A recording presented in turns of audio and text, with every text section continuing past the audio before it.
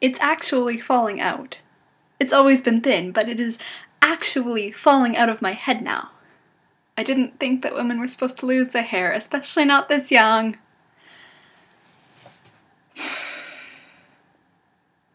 Wonder if I could wear a wig.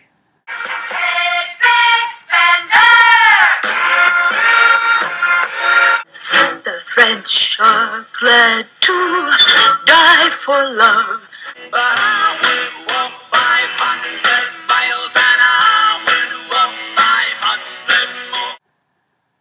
I don't actually know what to do about this, but it would be just my luck, right?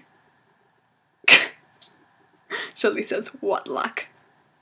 That's bullshit. That's bullshit. I'm plenty lucky. I have great friends. I have a great boyfriend, great girlfriend. No, this isn't a problem.